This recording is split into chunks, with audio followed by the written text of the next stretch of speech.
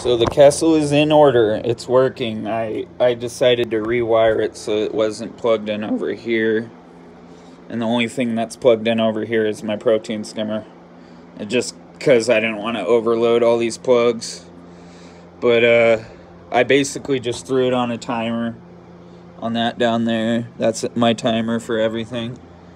Um, basically just took some of the old logs that I used to use under my other light in storage over here. This light here. Oh, we got Febreze down here. Not very much. Anyways, this light here, I used to use this light. Now I'm running Reef LEDs made by Lifegard Aquatics. This light kept burning out bulbs. It's an older light. It's still good, don't get me wrong, but it's just not what I need anymore. But the cool thing about this Kessil blue bloom, glow or grow, and red. Gonna put it on red for it now, or bloom, so that my Chaeto does better. But the intensity, notice the intensity, it's very low. I will not turn it past right there right now. I'm letting this thing warm up. It's kind of warm. I have it on two logs, so but otherwise I wouldn't have been able to use it today. Honestly, I could probably light my whole tank with this one light. People probably think I'm crazy, but yeah, if you had a, a timer setter or uh, the Kessil's the Kessil uh, control board and all that, you, you can control this thing to control your whole tank. Like, say I wanted to move this light here, I could put that thing right there on the glass and it'd do its job the same way. It'd just create algae inside the tank, though.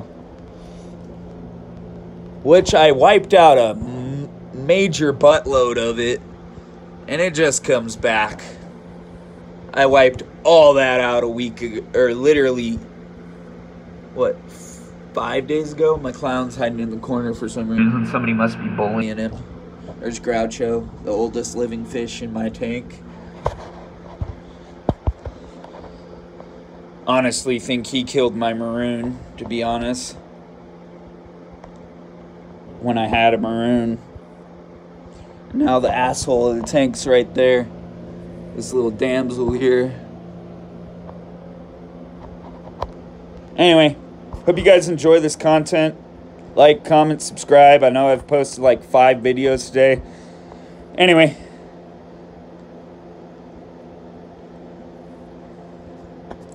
Tell me what you don't like. Oh, I also put in this right here. It's a little feeder defrost the food so they can eat it as they please instead of me force feeding them all the time. It'll also allow me to control the input into the tank, aka the input of food into the tank. And that way they know where to go for food now instead of, you know, the old norm. Woo! Phone almost just fell in the tank.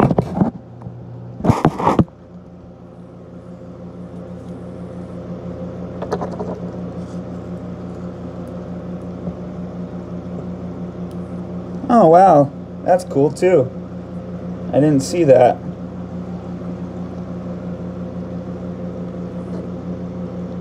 There's a little hole on the top, so I'm going to have to find a different place to put this. But yeah, I just put some food in there, some flake food to show you guys an example.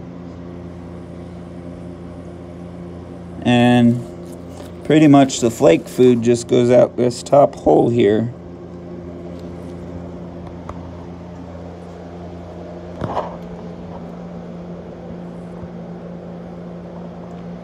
Did you just see him? My clown attack. I've been trying to figure it out for weeks who's been killing all my damn hermit crabs.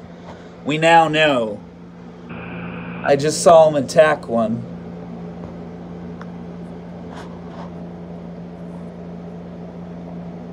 I thought it was the hermit crabs battling hermit crabs. Man, was I wrong. I've got blues in there. I've got a couple reds in there, but they keep killing the red, or the reds keep killing the blues. So, and if the they're not getting killed by them, they're getting killed by him.